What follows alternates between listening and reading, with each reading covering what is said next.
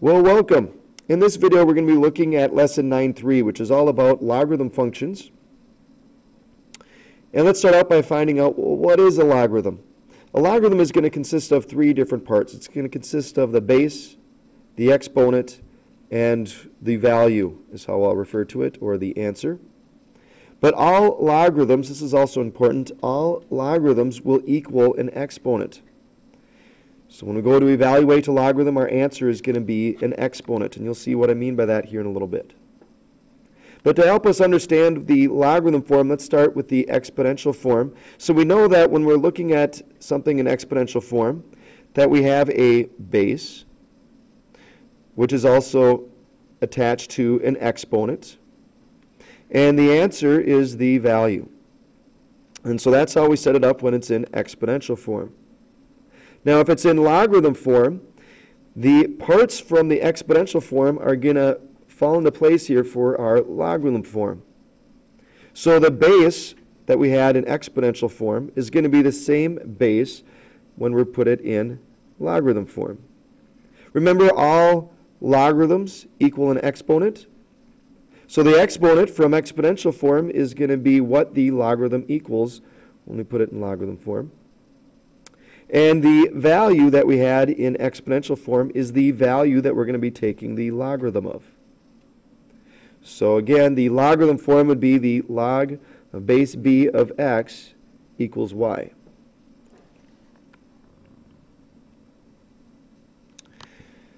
Now, when evaluating a logarithm, you need to ask yourself this question. What exponent would you apply to the base to get the value. And this is always what I put, this is always the way I think of it in my head, is anytime I'm trying to evaluate a logarithm, I'm asking myself, what exponent would I apply to the base to get the value? Because remember, our answers are the exponents. So we're trying to figure out what the exponent is. So let's say this first one. We're trying to figure out what exponent you'd apply to 4 to get 64. What exponent would we apply to the base 4 to get our value of 64. Well, 4 squared is 16, 4 cubed is 64, so 4 to the third power. So our exponent is 3, so our answer is 3. So don't write your answer as 4 cubed, that would be wrong. Your answer is the exponent. The answer then is just 3. Let's look at the next one. Well, this is kind of weird. Again, even though it might look strange, always ask yourself the same question. What exponent would we apply to the base 3 that would give us our value of 1 over 81?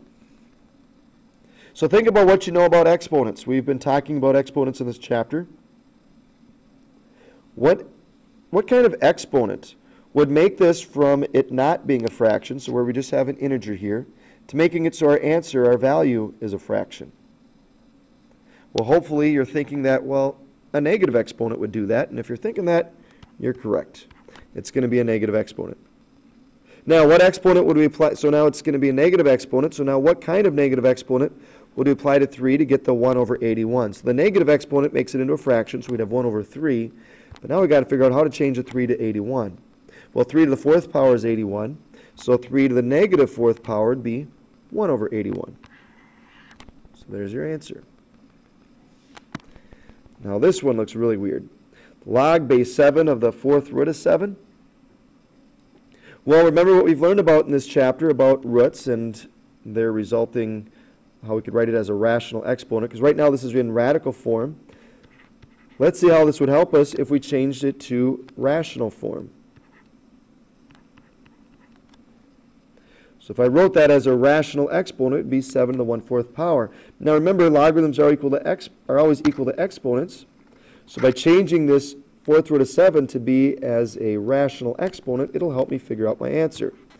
So again, I'm trying to figure out what exponent I apply to 7 to get 7 to the 1 4th power. Well, to figure out what I'd apply to this 7 to get the same thing on the right side, it would just be 1 4th. And it really is that simple. Let's look at letter D, though. This one looks a little weird. We have, again, even though it might look strange, still think of that same process. What exponent would I apply to my base, which is 1 half, to get my value, which is 32? So this one is similar to letter B because we're going from, this time, we're going from it being a fraction to being it not a fraction. So what kind of exponent would do that? Well, again, if you're thinking like before, if you're thinking that it's a negative exponent, you are correct. Because a negative exponent, remember we take the reciprocal of the base, well, the reciprocal of 1 half would be 2. So now I just got to figure out, well, what exponent would I apply to 2 to get 32? Well, that would be 5, because 2 to the fifth power would be 32, so my answer here is negative 5. Let's look at the next one. This one's also a little weird because we're trying to figure out what exponent I'd apply to 81 to get 9. Normally, exponents result in going from a smaller number to a larger number, but here we're going from a larger number to a smaller number. I want you to ponder this for a minute. We're going from 81 to 9. What could I do to 81 to get 9. Now, if you're thinking that, well, I know that I could take the square root of 81 and get 9, you're right. So how do we apply that as an exponent? Well, the square root is the same as raising it to the 1 half power. So 81 to the 1 half power would give us 9, meaning the second root of 81 is 9. And the last problem here, the what exponent would I apply to 5 to get 5 to the 3 sevenths power? Hopefully you can see right away that your answer would just be 3 sevenths.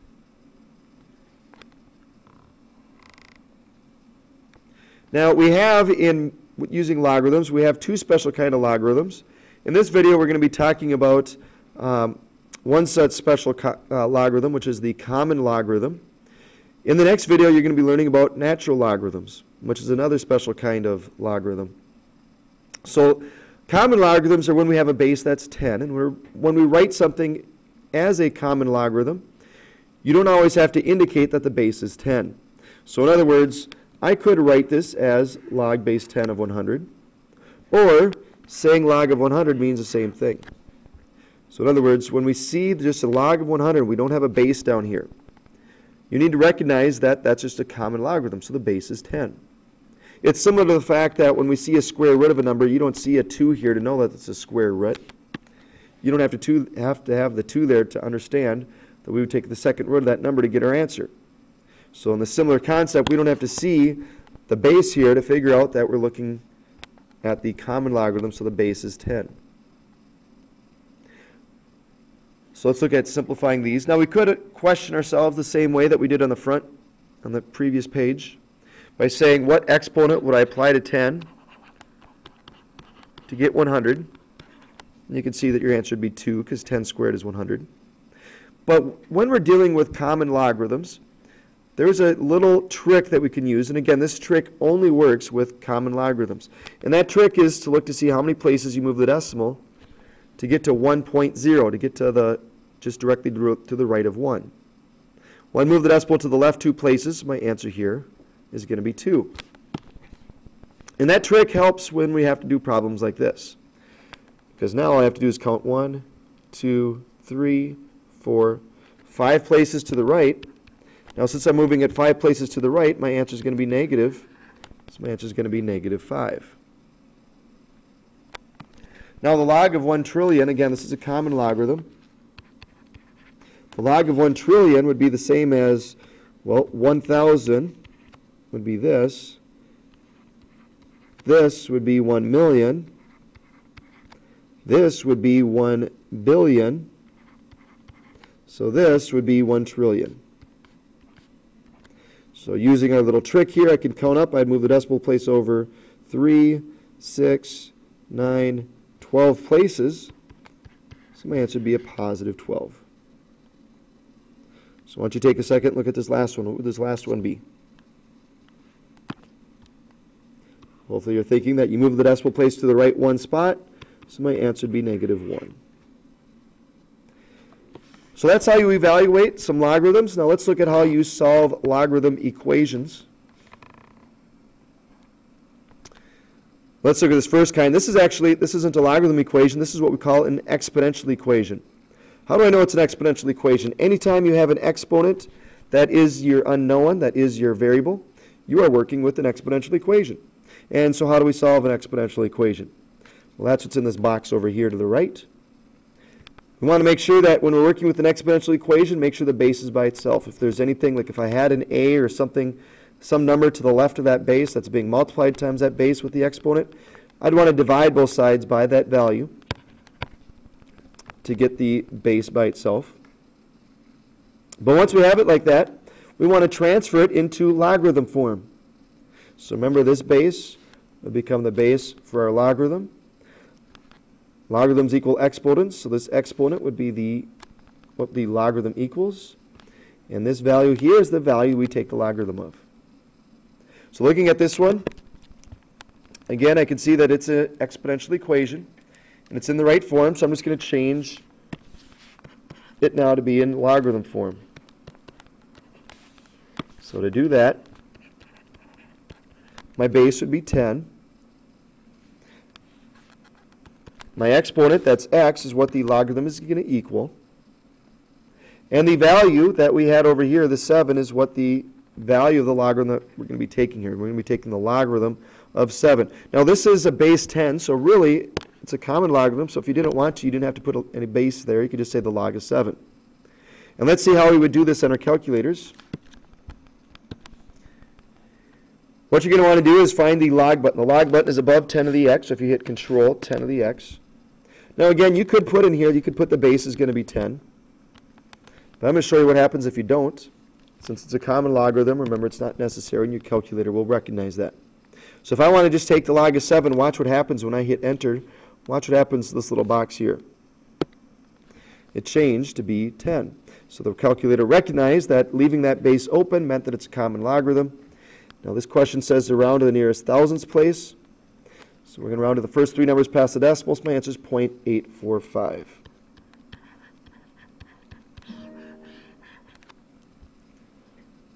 Okay, so let's look at, why don't you guys try this next one on your own. So why don't you pause the video and hit play when you're ready to check to see if you've got the correct answer. Okay, let's see how you did here. So we know that it's in the correct form. 10 to the x power equals 14.5 is in the form b to the x equals y. Change that to logarithm form. So this is a common log of 14.5 equals x, which when you do that on your calculator, you get 1.161 as your answer. Now, what if it's not an exponential equation? What if it's already in logarithm form? Well, if it's a logarithmic equation, so if your variable is uh, in a logarithm, is attached to the logarithm in some form, we're going to change it from being a logarithm equation, and we're going to put it in exponential form. Now, the way that you're going to do that is, remember this base is the same base that we have when we have it in exponential form. Logarithms equals x are, are always equal to exponents. My exponent will be the y that we apply to that base. And the value is the value for our answer here. Now, what I always had a math teacher tell me years ago, that's always stuck with me since high school, is that when we're changing it from logarithm form to exponential form, basically all you have to do is drag the base to the other side. And then what happens is the log falls off, leaving us with x equals b to the y power. Now some people ask, well, what happens to the log when you do that? Well, the log just drops off. And then people say, well, how do you, does the log just disappear like that? What do you do to get the log to disappear? You're changing the form it's in. So that's why it disappears. People don't freak out when they see 88% and change it to a decimal and get 0.88. They don't say, well, what'd you do to the percent? How can you just get rid of the percent? Well, you're changing the form it's in. So it's not a percent anymore, it's a decimal. So you don't have the percent as part of your answer. So when we go to change something from logarithm form to exponential form, the log's not going to be there anymore because it's not in that form anymore. So for this one, this is a common logarithm, so your base is 10. So we just drag the base to the other side, and the log falls off. So it's x equals 10 to an exponent of 2.873. Plug that in your calculator, you get 746.4 to the nearest tenth. Would be your answer. Now change this one slightly because I wanted to look at one if it wasn't a common logarithm. So why don't you guys try this one on your own where you have log base 3 of t equals 3.41 power. or equals 3.41. So you're going to want to change that to exponential form. And so why don't you guys do that and then plug it in your calculator to get your answer again, rounding to the nearest tenth. So pause the video and hit play when you're ready to check your answer. Okay, you should have gotten 42.4 as your answer because again, you drag the base over, so it'd be 3 to the 3.41 power, and then your answer would be 42.4 when you round to the nearest tenth. One last thing we're going to look at is the graph for this. All logarithm functions in this form, y equals log base b of x, are going to look something like this. Now, it's important to recognize um, that it's always going to have an x-intercept here of at the point 1, 0.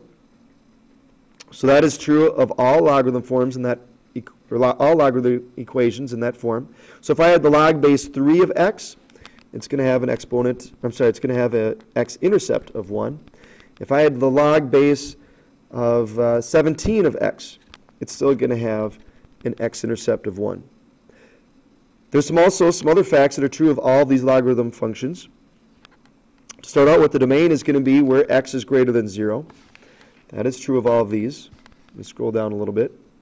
The range, a graph goes infinitely up and goes infinitely down, so the range is going to be all real numbers.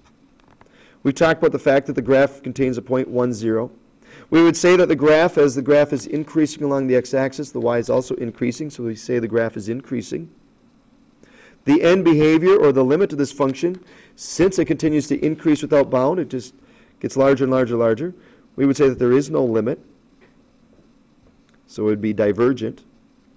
And the y-axis is a vertical asymptote, so it gets really close to the y-axis without actually touching it. So that's it. Those are some facts of the logarithm function when we graph it. And that is what we need to know for logarithms. So good luck now as you work on your assignment.